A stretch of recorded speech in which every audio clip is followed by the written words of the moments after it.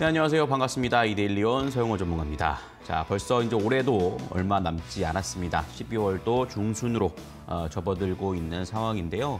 사실 그동안 날씨가 너무 따뜻했다가 갑자기 예, 추워졌습니다.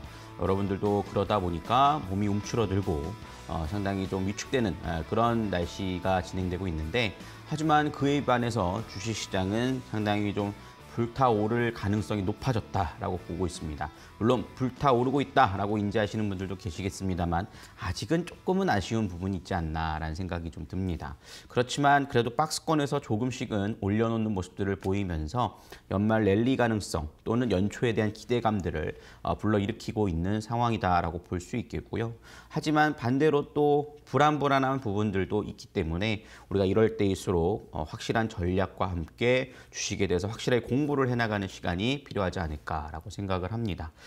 자, 저는 서용원 전문가고요. 이데일리온 소속의 아, 전문가로서 활동을 하고 있습니다. 오늘 어, 이 방송은 오후 11시에 좀 생방송으로 진행이 되는데 끝까지 여러분들 시청해 보시고 특히나 지금까지 함께 해오신 분들은 잘 따라오고 계시죠. 어, 이렇게 해서 24년도에는 큰 수익을 저와 함께 참여해 보시길 바라겠습니다.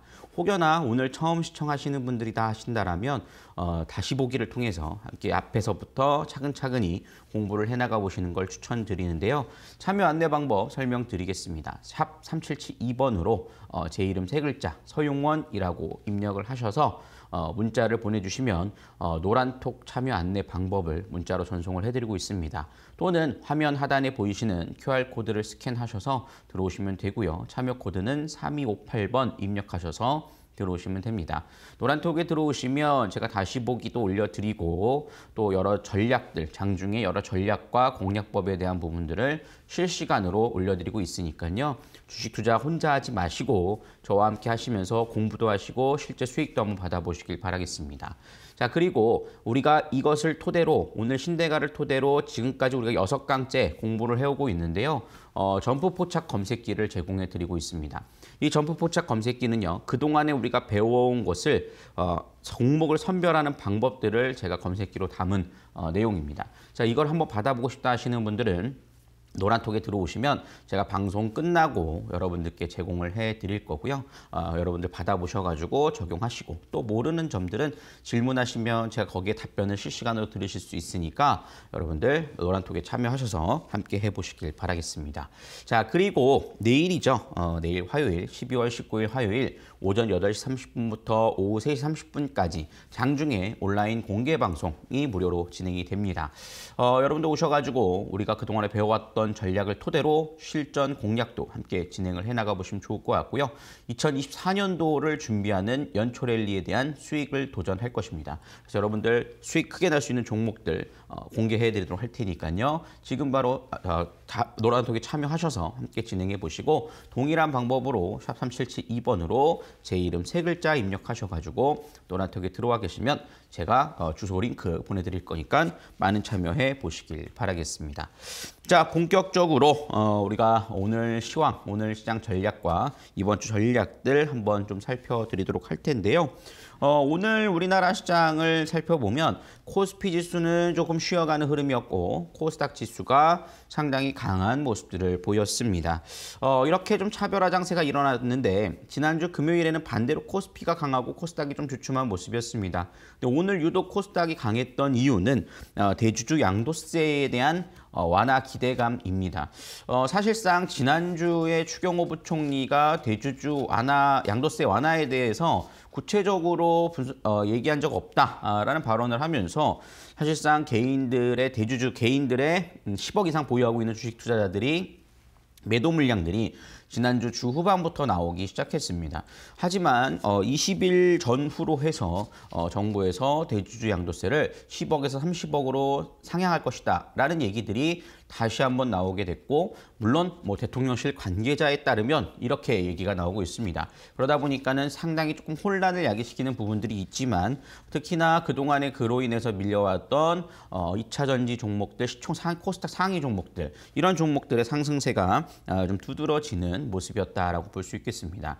어, 사실상 오늘 2차 전지와 리튬 관련된 종목들이 상당히 강하게 올랐는데요.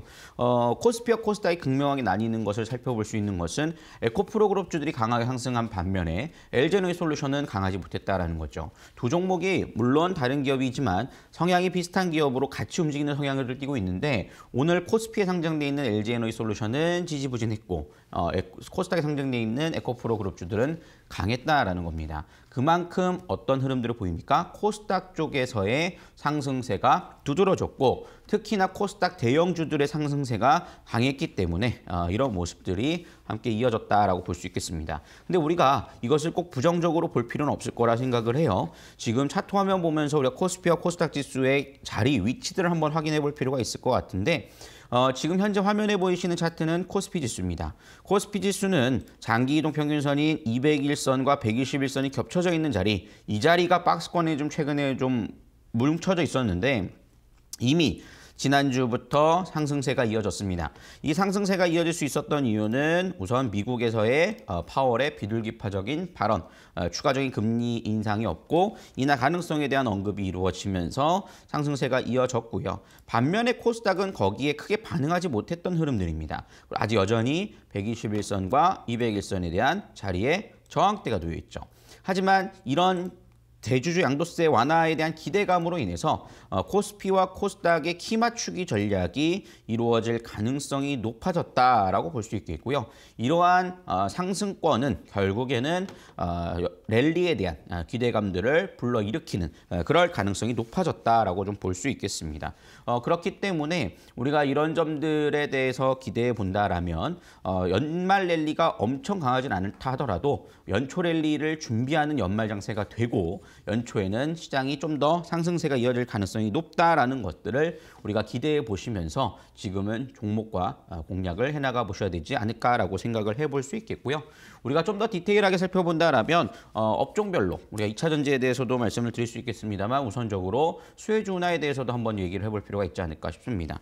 최근 어, 중동에 있어서 어, 수혜주 운하에 대한 어, 또 피격 소식이 전해진 상황입니다. 어, 수혜주 운하라고 한다면 정말 많은 물류들이 지나다니는 정말 좁은 에, 공간이라고 볼 수 있겠죠.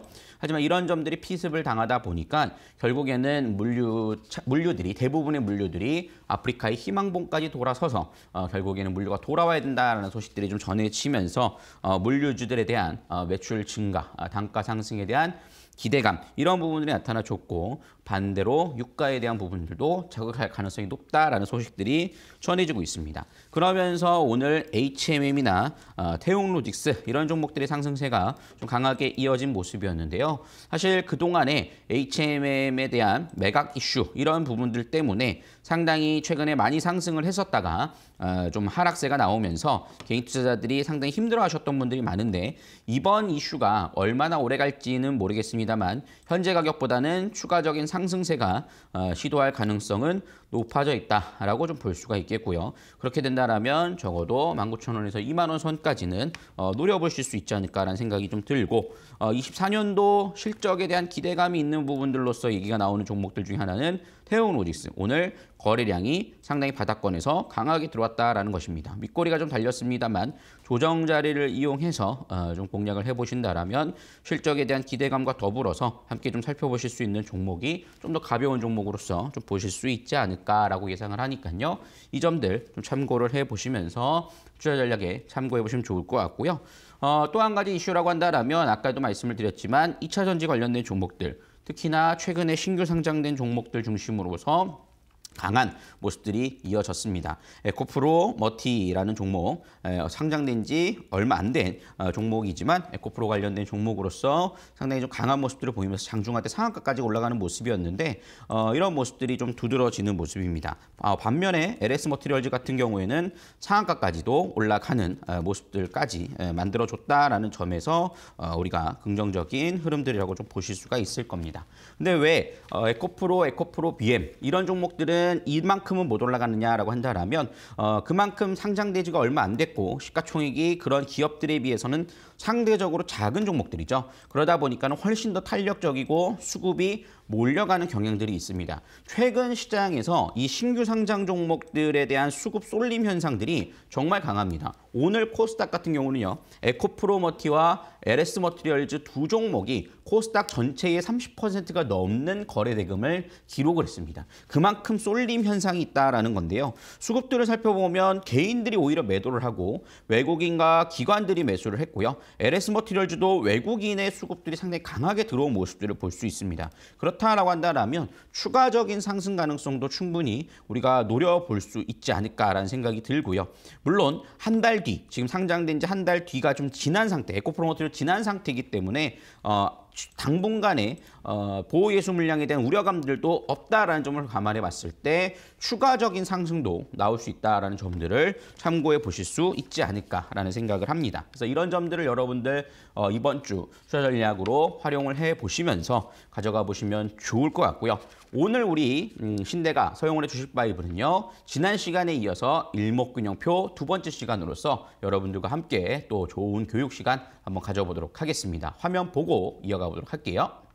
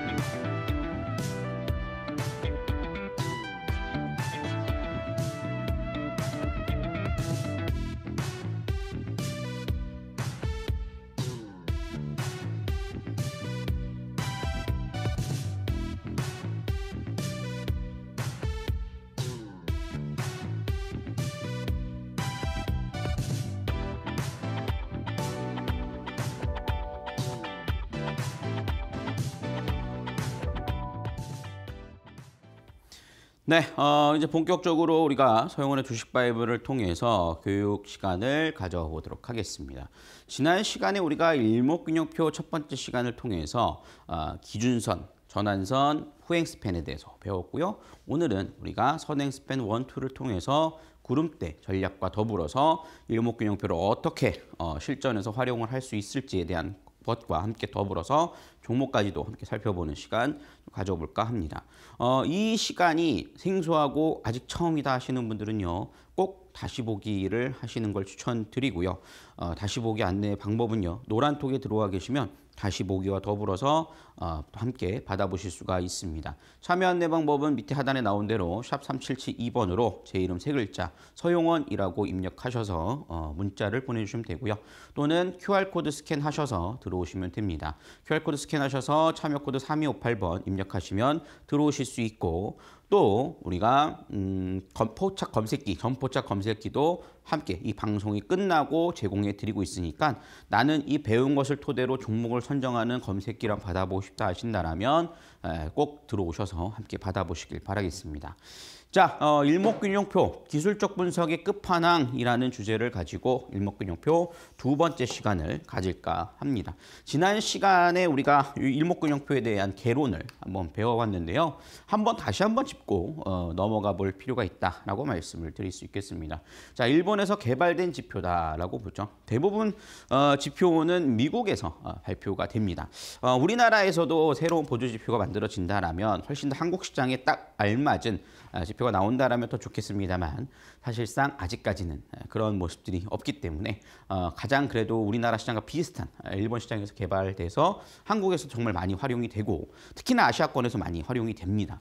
전 세계적으로도 많이 활용되는 어, 보조 지표다라고 볼 수 있겠고요. 다섯 개 의미 있는 선이 아, 우리 가장 중요한 예측 기법이다라고 좀 볼 수 있겠고 일목균형표의 핵심은 다른 것과 다르게 어, 시간 개념이 포함되어 있다라는 것을 어, 말씀을 드렸죠. 어, 이게 무슨 얘기인가라고 궁금해하실 수 있을 텐데 보통 서양의 엘리어트 파동, 그다음에 뭐 다우 이론 이런 같은 경우는 가격과 추세, 파동에 대해서만 우리가 중점을 두고 있다라고 볼 수 있겠고요. 어, 일목균형표는 시간의 개념이 더해졌고 시간이 가장 중요하다라는 겁니다. 우리가 이렇게 생각하시면 될 것 같아요. 어, 내가 어, 어떤 종목을 공략을 해서 음, 상승세가 이어집니다. 근데 이 상승세가 이 파동의 길이에 따라서도 결정되기도 하지만 내가 심리적인 변화가 작용하는 경우는 얼마나 오래 들고 있었느냐 또는 얼마 동안 오랫동안 횡보를 했느냐에 따라서 가격의 변화는 별로 없다 하더라도 즉 가격과 파동의 변화가 없다 하더라도 시간이 흐름으로써 심리적인 변화가 발생하기 마련인 거죠. 그죠? 우리가 일반적으로 여러분들 실제로 매매를 하시다 보면 내가 오랜 기간 동안 횡보하는 종목을 들고 있었어요. 그러면은 이거를 어, 이유 없이 팔고자 하고 싶은 팔고자 하는 어, 심리가 작용을 하게 됩니다. 그게 결국엔 무슨 개념이요? 시간의 개념이 작용 우리 나에게 영향을 미치고 있다라는 것이죠. 그렇기 때문에 이런 것들을 어, 우리가 한번 살펴볼 수 있는 거고 그래서 일목균형표는 시간을 주체로 하고 가격은 이차적인 개념에 불과하다는 데 기초를 둔 분석 모형이다라는 것을 보실 수가 있겠습니다. 저는 이거에 대해서 어, 굉장히 공감을 해요. 공감을 하다 보니까 제목을 또 기술적 분석의 끝판왕이라고도 표현을 하기도 하는 겁니다. 그래서 우리가 음, 어떻게 활용을 할 수 있느냐에 대한 부분들을 살펴보면 어, 12월 4일 신내가를 통해서 제가 어, 언급을 해드렸던 종목이죠. 이미 한 번 언급을 해드려서 어, 수익을 이렇게 어, 추가적인 상승이 만들어졌던 종목입니다. 하지만 눌림목 자리, 아, 이 상승이 나와줬죠. 그렇지만 눌림목 자리에 대한 부분들을 통해서 다시 한번 분할 매수가 가능하다라고 언급을 해드렸던 부분들인데 이후로 어떻게 됐는가에 대한 움직임들을 살펴보면 눌림목이 이어지죠, 실질적으로. 이때가 방송 일자입니다. 다음날 조정이 나오는데 일목균형표 상의 빨간색 선이 기준선입니다. 기준선 자리를 지켜주니까 다시 한번 상승세가 이어지게 되고 횡보하는 흐름들을 보여오죠. 왜냐하면 고점과 저점의 개념이 변하지 않으니까. 하지만 어느 순간 올라가는 흐름들이 나오면서 시간이 바뀌게 되기 때문에 왜냐하면 기준선은 26일 기준입니다. 그러니까 26일 기준에서 흐름들이 바뀌기 때문에 어떻게 됩니까? 기준선도 따라 올라가는 네, 그런 모습들을 보여주더라라는 거죠. 그래서 어, 중심 가격도 4등분선 있죠? 4등분선. 4등분선에서 중심 가격을 지지해주고 그 다음에 기준선에 대한 지지가 형성이 되고 거래량이 홍반되는 흐름들을 보이니까 상승세가 추가적으로 이어지면서 이게 어, 지난주 금요일자 차트거든요. 오늘도 상승세가 이어지면서 어, 전고점까지 바로 올라오는 모습이었습니다. 즉 어떤 흐름이냐? 제가 시노팩스를 처음 드렸을 때 이 자리가 저점이 이탈하지 않고 이탈하지 않고 상승세가 계속 이어진다. 왜냐하면 지수는 흘러내렸거든요. 그런데 장기 이동 평균선, 우리가 이동 평균선에 대해서도 배웠죠. 이동 평균선이 이탈하지 않고 그 다음에 저점을 높여나가고 이동 평균선의 수렴 자리가 형성되고 정배열 자리가 만들어졌다. 이 자리에서 그렇기 때문에 제가 이 종목을 드렸고 그로 인해서 상한가까지 올라가는 상승세가 이어졌습니다. 그리고 일부 수익 실현이 이루어져고 다시 눌림목이 나오지만 거래량 감소와 더불어서 일목균형표상의 기준선을 지켜주니까 예, 추가적인 상승세가 나오면서 17.7%의 추가 상승이 나오더라라는 거죠. 오늘까지 하면 추가적인 상승이 더 나오는 모습이죠. 그러니까 이렇게 여러분들 의미 있는 선들 보조 지표들을 이탈하지 않고 유지가 된다라면 우리가 지속적으로 한 종목에 대해서 매수 타이밍과 매도 타이밍을 계속 잡아나갈 수 있다라는 것입니다. 어, 그렇기 때문에 이런 상승세가 그죠? 이런 캔들이었던 흐름들이 다시 한번 상승과 더불어서 추가적인 상승세가 만들어지더라라는 거죠. 그래서 여러분들이 지금까지 제가 저를 통해서 여섯 번째 시간까지 강의를 배워왔는데 처음부터 배워온 것을 1강이 2강과 상관이 없지 않고 2강이 3강과 상관없지 않습니다. 모두 연관성이 있고 그것을 중첩시켜 나가면서 여러분들이 내 것으로 만들어내면 이런 종목들의 선별이 지속될 수 있다. 한 종목으로서 한 종목으로서 다시 한번 매수, 매도, 다시 재매수, 또 수익 실현 이렇게 어, 가능하다라는 겁니다. 그러면 여러분들이 어떤 종목을 공략하더라도 이런 기준에 의해서 매매를 하기 시작하기 때문에 수익 날 확률이 높아지고 오히려 손실은 최소화하는 이런 전략들이 확실하게 이루어진다라는 것을 보실 수가 있겠습니다. 자, 그래서 여러분들이 이런 것들을 통대로 배워보시는 걸 말씀드리고요. 우리가 어, 전환선, 기준선과 후행 스팬은 지난 시간에 배웠습니다. 그 다음에 이번에는 선행 스팬 1, 2 구름대에 대해서 한번 짚고 넘어가도록 할 텐데요. 선행 스팬 1은 무엇이냐? 우선 전환선 값에 대한 이해가 필요하겠죠. 26일 동안의 저점과 고점을 더해서 나누기 이 한 값, 즉 중간값입니다. 26일 동안의 최저 최고값의 중간값이라고 생각하시면 되고요. 그것을 전환선 값과 더해서 그죠? 그 다음에 기준선 값을 더해주죠. 9일이라는 선을 더해줍니다. 이거를 나누기 2 해서 중간값을 만들어줬고 그죠? 그러니까 중기선, 단기선의 중간값을 다시 구한 거예요. 그것을 수치를 26일 후에 기입을 한다. 그러기 때문에 선행 스피인 선행한다.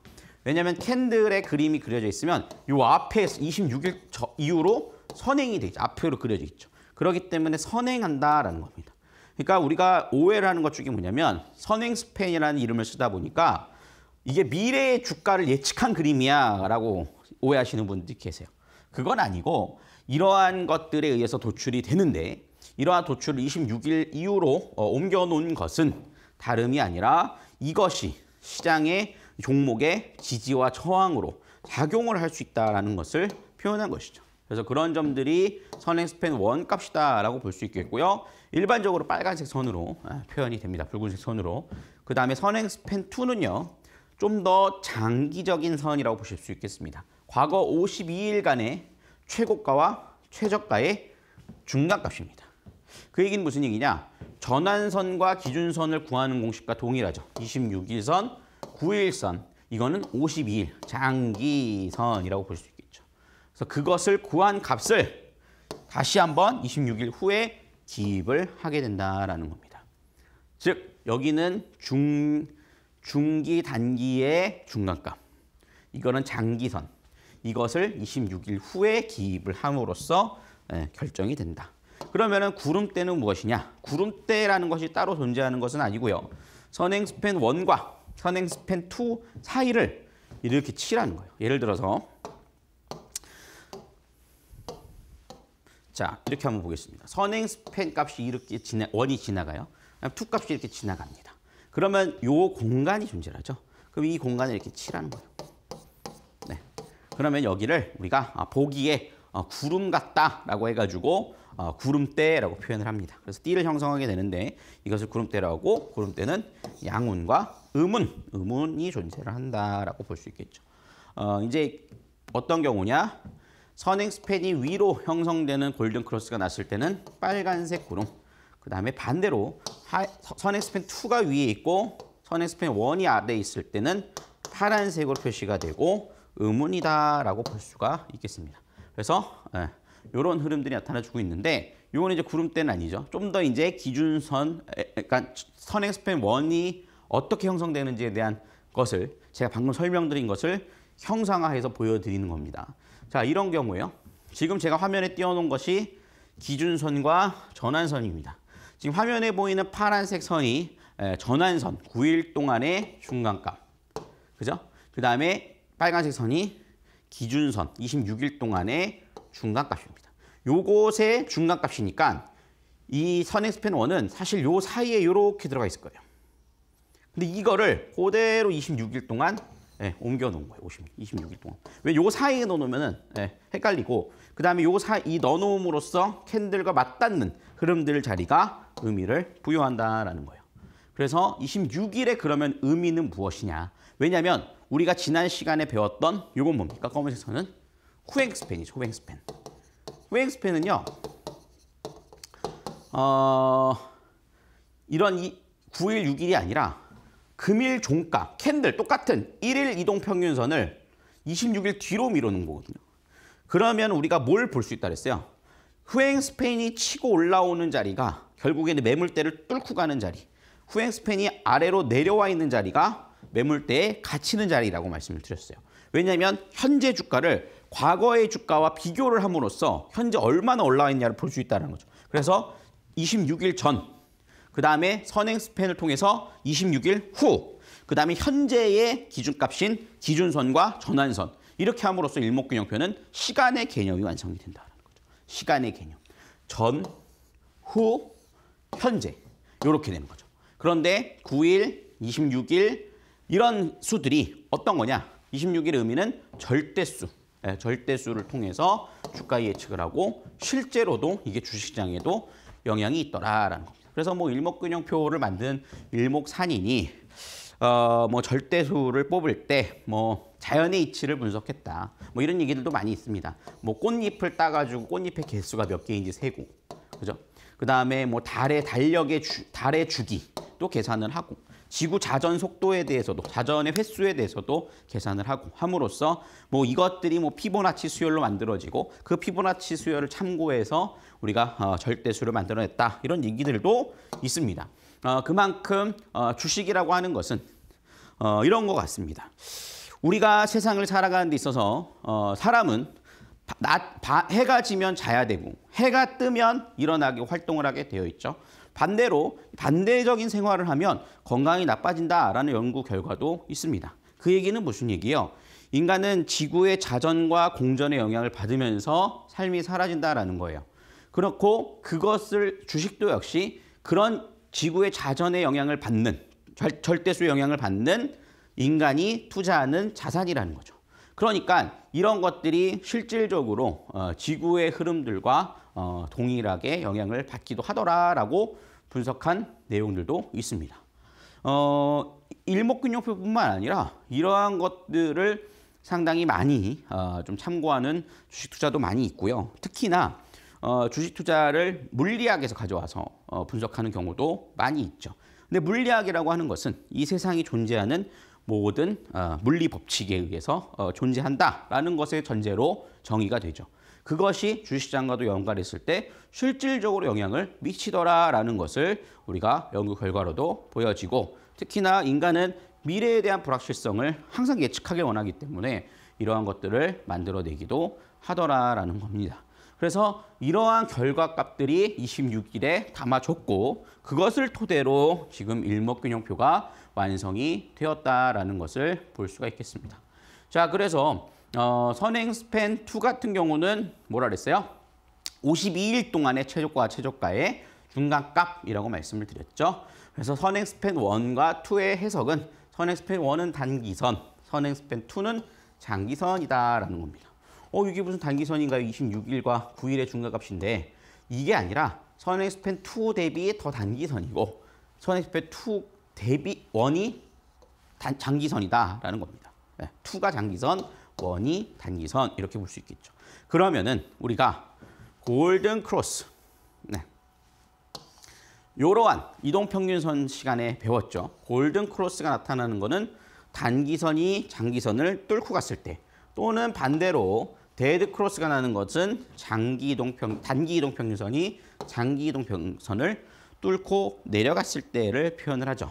동일해요. 예. 일목균형표에서도 선행 span에 대한 장기, 단기, golden cross와 dead cross가 존재를 하고 그 golden cross가 난 자리는 양운, dead cross가 난 자리는 음운이라고 표현을 한다라는 것입니다.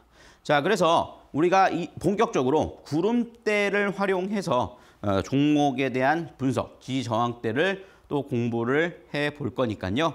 잠시 우리 또 공개 방송 온라인 공개 방송 화면에 대한 부분들 한번 보고 또 이어가 보도록 하겠습니다.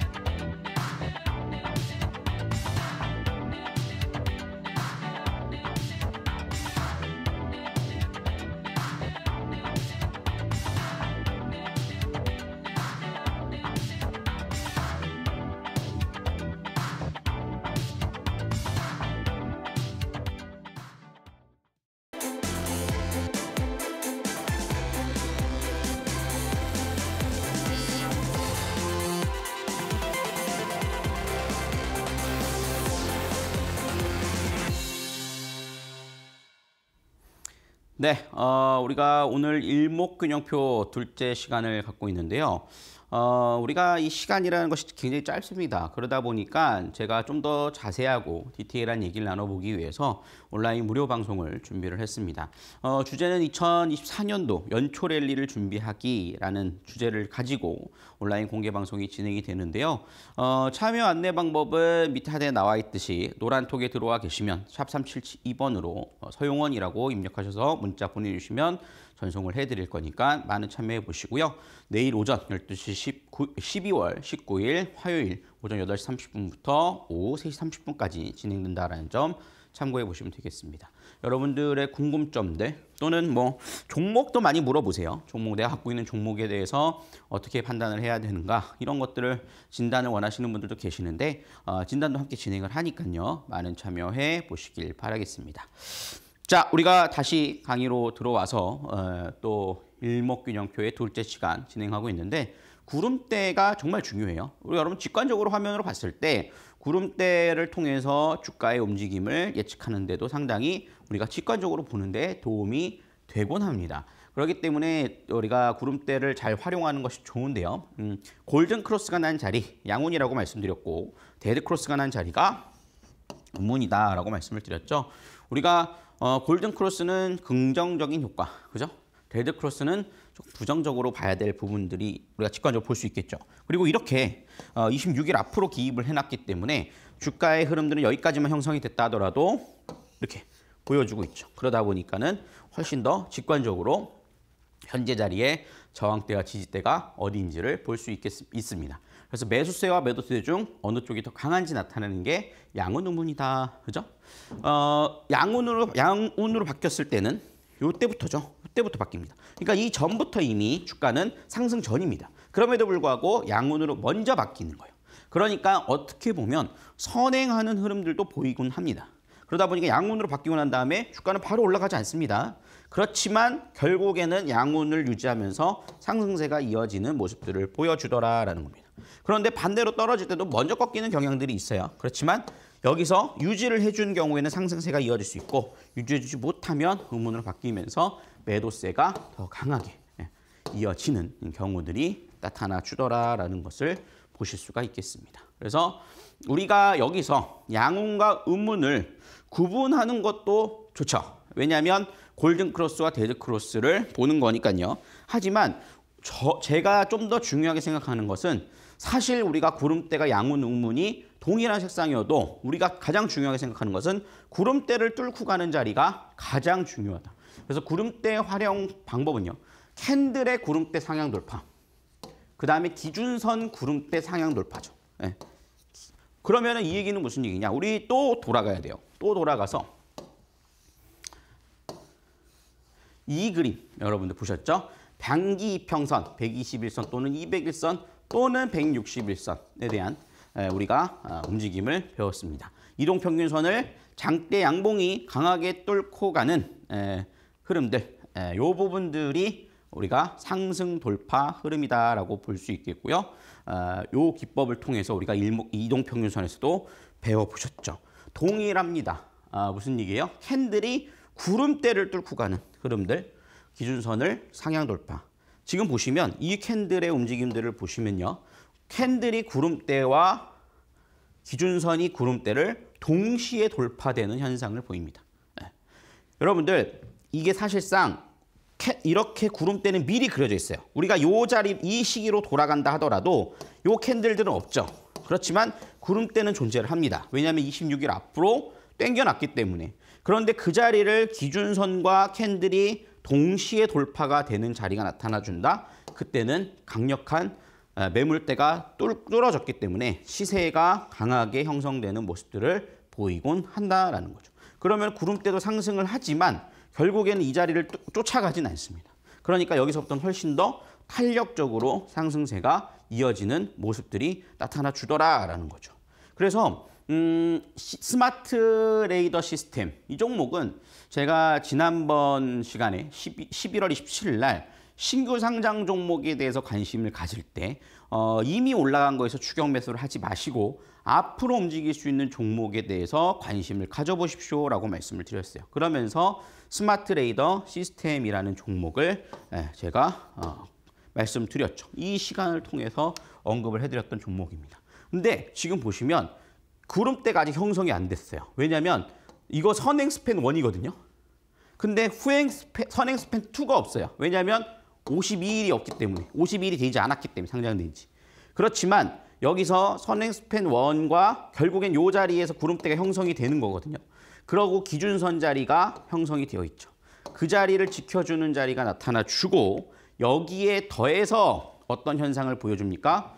4등분선에서 중심 가격을 이탈하지 않죠. 올라갔다가 지지를 해주죠. 여전히 상승 추세 국면에 놓여 있다라는 겁니다. 중심 가격 상승 국면에 놓여 있죠. 그래서 신규 상장 종목과 이동평균선 수렴 자리 중심 가격 지지해주고 기준선이 어떻게 돼요? 기준선이 지지해주는 이런 모습들. 그 다음에 선행 스팬 원도 지지해주는. 그 얘기는 무슨 얘기야? 구름대가 지지가 되고 있다라는 것이죠. 이런 모습들에서 대시세가 나올 수 있다. 근데 이만큼도 얼마예요? 13% 수익률이 나와줬다라는 거예요. 그런데 지금 현재 상황을 보시면 어떤 현상이 나타나 주냐면 구름대가 다시 생겼어요, 이제. 이렇게 생겼어요. 그렇지만 중심 가격을 지켜주고 기준선을 지켜주니까 어떻게 돼요? 깨지지 않고 이 자리에 머물러 있는 모습들이죠. 그래서 여러분들이 종목을 진행하고 계신다면 구름대를 뚫고 가면 대시세가 나올 수 있겠죠. 그런데 여기 어떻게 시간의 개념에 의해서 이렇게 뚫고 가는 흐름들이 나올 가능성도 높다. 그런데 중심 가격도 지켜주더라. 이렇게 되면 여러분들이 그전에 배워왔던 이동평균선, 중심 가격, 그 다음에 일목균형표를 활용하셔서 가져가 보실 수 있는 부분들이 나오면서 추세 상승이 지속된다라는 것을 확인해 보실 수가 있겠습니다. 여기서도 수익이 나오고 여기서도 수익이 나오는 구조가 형성된다라는 것이죠. 그래서 지금 현재 구간에서 이런 것들을 활용해 볼 수 있겠고요. 그러면 이 구름대, 이 구름대로 들어가는 자리에서는 어떤 현상이 나타나 주느냐라고 한다면 구름대가 응운에서 양운으로 전환까지 대시세 가능성이 높다라는 거예요. 지금 보시면 양운에서 음운으로 전환되는 모습들이 나타나 줬죠. 그죠? 변화가 되기 시작합니다. 그 시점에 조여 있다라고 볼 수 있겠고요. 실질적으로 이 자리가 돌파가 되는 자리. 그때 기, 보시면 양운과 음운이 나온 거죠. 근데 이런 경우들은 사실 많지는 않아요. 지금 보시면 어, 양운에서 음운으로 바뀌었는데 아직 구름대죠. 그러니까 여기서 저항대가 작용을 할 수 있습니다. 그렇지만 이 케이스의 종목은요. 실질적으로 모든 조건이 다 갖춰져 있어요. 기준선이 구름대를 돌파하고요. 그 다음에 양운에서 캔들도 이 구름대를 돌파를 하고 그 다음에 양운에서 음운에서 양운으로 전환이 되는 이런 자리, 이런 자리가 대시세 가능성 상당히 높다라는 것이. 왜냐하면 모든 매물대들을 소화를 했기 때문이다라는 거죠. 그리고 여기에 이제 모멘텀만 받쳐주면 어떤 상승이 나오냐면 이런 상승세가 나오는 겁니다. 아까 우리가 그 자리가 여기예요. 음운에서 양운으로 바뀐 자리. 그죠? 그리고 이런 상승세가 이제 구름대 상단으로 예, 움직이는 모습들을 보실 수가 있다라는 거죠. 그래서 여러분들이 다시 체크해 보세요. 몇 가지를 체크해야 되는데 캔들이 구름대를 돌파하고 기준선이 구름대를 돌파하고 선행 span 1, 2가 골든 크로스 되면서 음운에서 양운으로 전환되는 시기 이 자리를 여러분들 체크를 해나가신다면 매수의 맥점 자리가 될 수 있다라는 것입니다. 그래서 이런 전략들을 통해서 여러분들이 잡아가시는 게 중요하고요. 제가 내일 온라인 공개 방송을 통해서 어, 이러한 종목들도 함께 살펴보고 또 여러 가지 케이스들을 공부해 볼 예정입니다. 그래서 온라인 공개 방송에 참여를 해보시면 좋을 것 같고요. 그 다음에 여기에 더해서 기준선, 중심가격, 상승 국면, 캔들에 대한 움직임들 이런 부분들이 무슨 말인지 모르겠다 하시는 분들은 앞에 일강선부터 차근차근히 다시 따라오시는 거를 추천드립니다. 물론 이 강의도 끝까지 시청을 하셔야겠지만 앞 강의서부터 차근차근히 따라오시는 게 정말 중요해요. 아직 늦지 않았어요, 여러분들. 이제 6강입니다. 그러니까 샵 3772번으로 서용원 입력하셔가지고 어, 문자를 보내주시면 노란톡에 들어오실 수 있을 텐데요. 들어오시면 제가 거기에서 음, 다시 보기를 올려드릴 거고요. 어, 또 검색기까지 제공을 해 드릴 겁니다. 검색기는 이러한 조건들에 지금까지 우리가 1강부터 6강까지 배워온 것들에 대한 조건들을 한 번에 적용을 해서 그런 종목들이 무엇이 있는가를 선별할 수 있는 어, 종목 검색기입니다. 그 종목 검색기를 받아보고 싶다 하시는 분들은요. 오셔가지고 검색기 받으러 왔습니다. 라고 말씀해 주시면 제가 이 방송 끝나고 어, 바로 올려드릴 예정이니까요. 기대해 보셔도 좋겠다. 여러분들 검색기도 받으시고 실시간 투자 전략도 받으시고 그다음에 온라인 공개 방송도 참여하실 수 있으니까 오셔가지고 함께 무료로 모든 게 제공이 되고 있으니까요.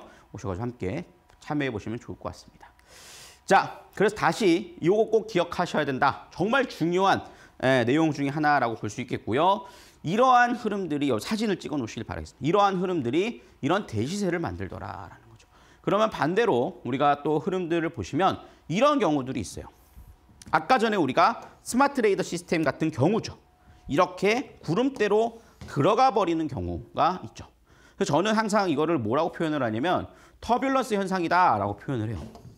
이게 무슨 얘기냐? 이 구름이잖아요, 구름. 구름이면 하늘 아닙니까, 하늘? 그럼 우리가 하늘을 나는 거는 비행기죠. 하늘도 마찬가지인 것 같아요. 제가 한번 비행기를 탔을 때, 어, 이 구름, 먹구름 속에 들어가니까 실제로 비행기가 정말 많이 흔들리더라고요. 그래서 이 배꼽이 철렁할 정도로 흔들리기도 하던데 그거를 이제 터뷸런스 현상이다라고 얘기를 하면서 안심을 시킨 경험이 있습니다.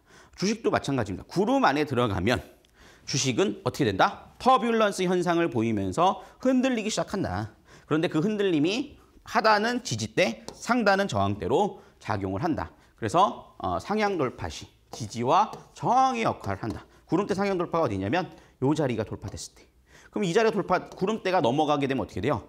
우리가 비행기가 막 대기권에 진입했을 때는 흔들리지만 그 위에 상공을 올라가 보면 밑에는 비가 내리고 있어도 우리가 구름 위로 올라가게 되면 항상 날이 맑습니다. 그죠? 그런 경험을 많이 했죠. 그렇듯이 어떻게 돼요? 주식도 구름대 위로 올라갔을 때는 훨씬 더 가벼워지게 되고 구름대 안에 들어갔을 때는 흔들리게 되고 그럼 구름대 안에 있을 때는 어떠냐? 비바람이 치기도 하고 햇빛이 쬐기도 하고 바람이 불기도 하고 여러 풍파가 좋은 날과 풍파가 함께 공존한다라는 겁니다. 이게 여러분들 정말 날씨와 더불어서 잘 만들어진 일목균형표가 아닐까라는 생각을 합니다. 그래서 우리가 터블러스 현상이 일어날 때는 어떻게 하겠어요? 아, 지금 현재 당분간 박스권으로 지지부진한 흐름들이 이어질 텐데 여기서 상승할 만한 모멘텀이 있는가 아니면 하락할 만한 모멘텀이 있는가에 대한 것을 우리가 면밀하게 따져봐야겠죠. 그래서 판단을 해야 된다라는 겁니다. 근데 여기서 더해서 우리가 기대해 볼 수 있는 부분 중에 하나는 무엇이 있느냐라고 한다라면 시간의 개념이에요. 일목균형표는 시간의 개념이 중요하다라고 말씀을 드렸죠.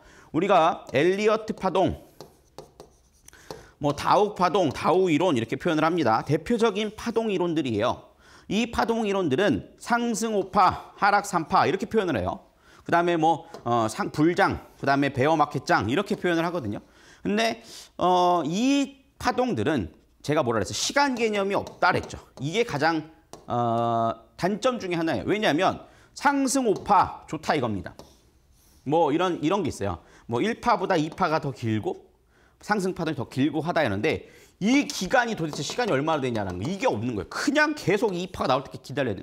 그러면은 사, 상승, 하, 조정 이렇게 가는데 이 기간이 얼마냐는 거예요. 이거에 대한 개념이 없다라는 거예요. 그런데 일목균형표는 시간의 개념이 존재하더라라는 거예요. 그러니까 터뷸런스 현상에 의해서 구름대 안으로 들어가서 횡보를 하더라도 구름대가 낮아지면서 시간의 흐름으로 돌파가 되는 현상이 나타나 주더라. 그럼 어떻게 돼요? 이것 또한 매물대를 뚫고 나왔다라고도 볼 수 있다라는 거죠. 왜냐하면 시간의 개념의 흐름으로서 매물이 소화되는 과정을 볼 수 있다라는 거예요. 그렇기 때문에 구름대 안에 캔들이 자려면 박스권 변동성 예상을 하되 시간의 흐름으로 돌파가 되는 현상도 일어난다. 그래서 음운에서 양운으로 변경되고 그 시간의 흐름에 의해서 돌파가 된 자리에서 결과적으로 뭐요? 기준선이 구름대를 돌파하고 캔들이 캔 구름대를 돌파하고 구름대가 음운에서 양운으로 변경이 되고 그러니까 이런 대시세가 나오더라는 거예요. 이건 내가 힘쓴 게 아니죠. 주가가 상승세를 강하게 보였던 것이 아닙니다. 그럼에도 불구하고 시간의 흐름에 의해서 변경이 되기도 하더라. 이게 여러분들 인목근육 회상의 특징이라고 볼 수가 있겠습니다. 시간의 흐름으로 돌파가 되는 현상. 우리가 근데 주식시장에서 이런 일들을 당연히 겪을 수가 있어요. 왜냐하면 엘리어트와 다우는 시간의 개념이 없다라고 했는데 우리가 주식 투자를 하게 되면 시간에 따라서 심리적 변화가 분명히 나타나 주거든요. 자금이라는 것은 시간에 쪼들리기 마련입니다. 우리가 이자라고 하는 것도 다 시간에 대한 돈 아니겠습니까? 그죠? 근데 이것을 관가했다라는 것이죠. 하지만 일목균형표는 시간의 개념을 넣음으로써 이런 것들을 해소해 놨다라는 겁니다. 그러니까 구름대가 돌파나 꼭 기억하시오. 기준선 돌파, 캔들 돌파, 구름대 상단 돌파. 그 다음에 음운, 양운, 전환. 요거를 기억하셔야 돼요. 그러면서 대시세가 나오고 반대로 반대 데드 크로스가 나오기 시작하죠. 그럼 어떻게 돼요? 여기서 그러니까 구름대가 얇아지는 거예요. 그럼으로써 어떻게 돼요? 같은 박스권이었지만 구름대를 뚫고 하단으로 내려오는 경우들이 발생을 하는 그게 어디냐? 요게 이 자리입니다. 제가 조그맣게 넣어놨죠? 그럼 어떻게 돼요? 그때부터는 저항으로 작용을 하면서 하락세가 나오고 캔들도 기준선 깨지고 구름대도 깨지고 어떻게 돼요? 음운, 양운에서 음운으로 바뀌고 이거는 데드 크로스, 반대급부가 나타나 줬다라는 것입니다. 자, 여러분들 이렇게 보시면 여러분들이 좀 더 직관적으로 종목을 보는데 눈이 넓어지게 될 겁니다. 그래서 전과 후의 후행, 전 후행 스팬, 선행 스팬, 그 다음에 기준선과 전환선 여러 가지를 활용해서 주가의 내가 현재 처한 주가의 흐름들에서 전의 흐름은 어떤 것인가. 왜냐하면 우리가 후행 스팬은 지난 1시간에 배웠죠. 1번 시간에 배웠죠. 매물대를 돌파하는 자리. 그 다음에 선행 스팬을 통해서 음운과 양운의 변화. 이런 부분들을 통해서 우리가 활용을 할 수 있다라는 겁니다. 그래서 일목균형표는 시간의 개념으로 출발을 해서 시간의 개념으로 끝난다라고 생각을 하셔도 무관합니다. 그러면 우리가 이것을 단기로 적용을 할 수도 있고요. 중장기로도 적용을 할 수 있고 초단기로도 적용을 할 수 있습니다. 당연히. 그렇기 때문에 주봉에서 활용을 하셔도 좋고요. 월봉에서 활용하셔도 좋고 주봉과 월봉은 일봉보다는 훨씬 더 신뢰 수준이 높다라는 것을 보실 수가 있을 겁니다. 이거는 뭐 일반적인 현상이라고 볼 수 있겠죠. 그래서 여러분들이 주식 투자를 하실 때 어, 저는 굉장히 강조하는 것 중에 하나가 시간의 개념이에요. 시간의 개념. 어, 우리가 시간의 개념을 파악하면서 대응을 하셔야 된다라고 말씀을 드리니까요. 그 점들을 참고해 보시면 좋을 것 같고요. 우리가 1번 일목균형표 1과 2를 통해서 두 번의 시간을 통해서 일목균형표를 공부를 해봤는데 정리를 해볼게요. 26 절대수를 기준으로 현재 주가의 전과 후의 가격의 파악에 용이하다. 선행 span 1 단기선, 선행 span 2 중기선은 골든 크로스와 데드 크로스로 활용이 된다. 그래서 기준선 1강 시간에 배운 거죠. 그 다음에 선행 span 1, 2를 함께 활용을 한다. 그래서 구름대를 돌파 이탈하는 자리 또는 지지와 저항으로 사용되는 turbulence 박스권 자리를 통해서 활용을 한다. 구름대의 굵기도 지지와 저항에 영향을 미치며 시간의 돌파 개념을 이해한다. 자, 그래서 이렇게 우리가 정리를 해볼 수 있겠고요. 일목산인, 일목균형표를 만든 사람이 뭐라고 얘기했냐면 시장을 파악하기 위해서는 무엇보다 차트가 간단 명, 명료해야 된다. 아무리 좋은 지표도 빠르게 파악하지 못하면 필요 없다. 네, 그래서 일목요연하게, 네, 일목요연하게 정리한 게 일목균형표라고 보실 수가 있겠습니다. 그래서 어, 정말 공감되는 얘기죠. 그래서 우리가 전후를 통해서 직관적으로 볼 수 있게끔 만들어낸 것이 구조지표의 대표적인 일목균형표다라고 말씀을 드릴 수 있겠고 그래서 제가 제목을 기술적 분석의 끝판왕이라고 남긴 겁니다. 자, 여러분들 두 시간을 통해서 일목균형표에 대해서 공부를 해봤는데요. 어, 또 여러분들이 궁금하신 점들이 많이 있으실 겁니다. 궁금한 점은 노란톡에 들어오셔서 여러분들 어, 질문 남겨주시면 되고요. 제가 이 방송 끝나고 바로 또 여러분들 전부 포착 검색기까지 제공해 드릴 예정이니까 여러분들 많은 참여해 보시길 바라겠고요. 저는 다음 시간을 통해서 또 여러분들께 좋은 전략들 함께 제공해 드리는 시간 준비해 보도록 하겠습니다. 여러분 날씨 추운데 감기 조심하시고 저는 물러가고 다음 주에 인사드리도록 하겠습니다. 감사합니다. 지금까지 이데일리온 서영원 전문가였습니다.